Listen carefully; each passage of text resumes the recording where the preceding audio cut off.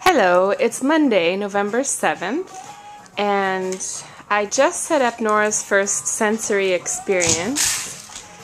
And Nora, can you show everyone what did you get today to play with? Oh, so you had some bow tie pasta. What else? Can you show me? Oh, some penne pasta. And then there's some rice here. She dumped it everywhere, which took a minute for me to take a deep breath.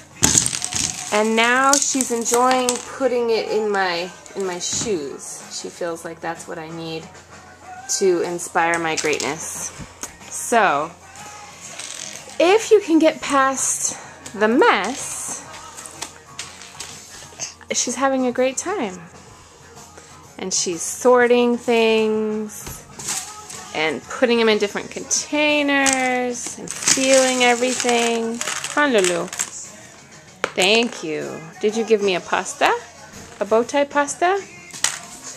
And just a little cleanup is necessary.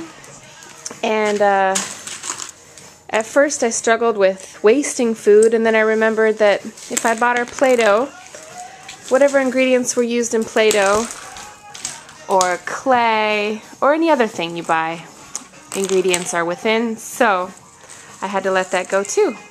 But I'm enjoying it so far our first experience with getting messy on a cold day and Lulu has her first cold and I have pasta now safely in my tennis shoes. Bless you, baby. Nora, can you say bye-bye? Bye. You having fun? You want to hand that to me? Oh, thanks. Bye. Bye. Do you have a cold today? Are you sick? Oh, no. Yeah, you're sick.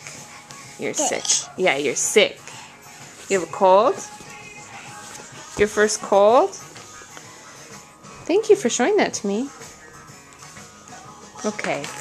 We're going to go now. Bye. Bye. Bye.